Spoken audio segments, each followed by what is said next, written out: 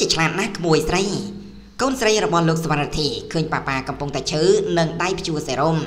នៅកំដរប៉ាប៉ានិងអោបប៉ាប៉ាឡើងជាប់តែម្ដងចំណែក stand up របស់យើងខ្ញុំនឹងធ្វើការលំអិតព័ត៌មាននេះលោកសវណ្ណធីអតីតអគ្គនាយកសារព័ត៌មាន TV Facebook ដែលបងប្អូនជាច្រើនទូទាំងប្រទេសបានស្គាល់លោកនិងគោរពស្រឡាញ់ទៅលើរូបលោកយ៉ាងខ្លាំងលោកសវណ្ណធីកាលពីពេលថ្មីថ្មីនេះគឺលោកបាន បង្ហោះនូវរូបភាពជាច្រើនថតជាមួយនឹងកូនទាំងពីររបស់លោកក្នុងទឹកមុខដ៏ស្រស់ញញឹមក្រោយពីបានឃើញរូបថតនេះហើយពិតជាធ្វើឲ្យមហាជនជាច្រើនមានការ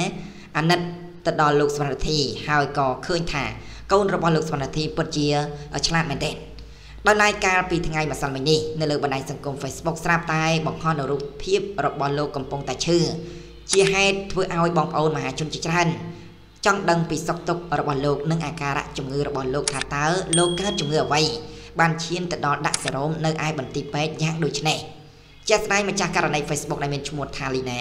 ក៏បានប្រាប់ឲ្យដឹងថាលោកសមត្ថធីគាត់កើតជំងឺក្រពះទើបលោកត្រូវបានជួសរោមនិងសម្រាប់ព្យាបាលជំងឺជាមួយគ្នានេះផងដែរកូនស្រីរបស់លោកក៏បានអោបលោកឪពុកឡើងជាប់និងនៅកំដរពុកមិនចេញឆ្ងាយពីឪពុករបស់ខ្លួនឡើយបាទដោយសេចក្តីស្រឡាញ់ដោយយើងឃើញថា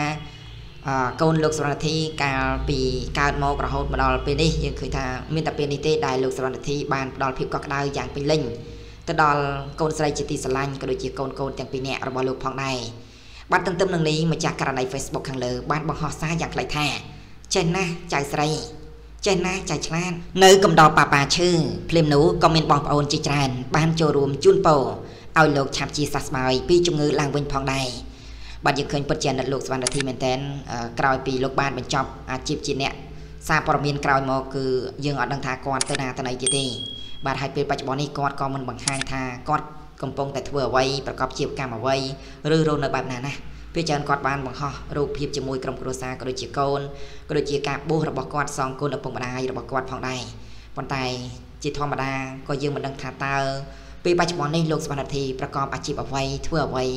នៅឡើយទេមិនទាន់ដឹងនៅឡើយទេហើយក៏ចង់ដឹងដែរមហាជនជាច្រើនគឺចង់ដឹងមែនទែនថាតើលោកសវណ្ណធីពេលបច្ចុប្បន្ននេះកំពុងធ្វើអ្វីហើយជីវភាពរបស់ក្រុមគ្រួសារគាត់ទៅជាយ៉ាងណាបាទក្រោយពីបញ្ចប់អឺបញ្ចប់ជាអ្នកសារព័ត៌មានទៅហើយនោះបាទបានជិះខ្ញុំក៏សូមបញ្ចប់នៅព័ត៌មាននេះដើម្បីបន្តបាននៅព័ត៌មានបន្តទៀតសូមជួយចុច like ចែកនិងចុច Subscribe លើ Channel Stand Up របស់យើងខ្ញុំផងដែរបាទសូមអរគុណសូមជម្រាបលា